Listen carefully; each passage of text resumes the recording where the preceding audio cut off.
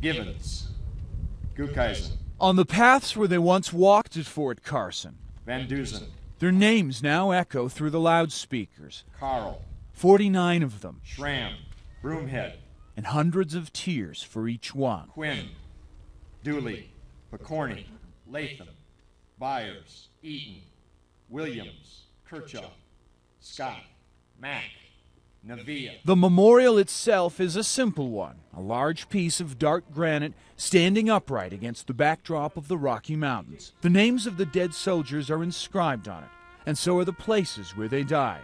Places most of us had never heard of before last March Fallujah, Ramadi, Nasiriyah. I think it's tremendous.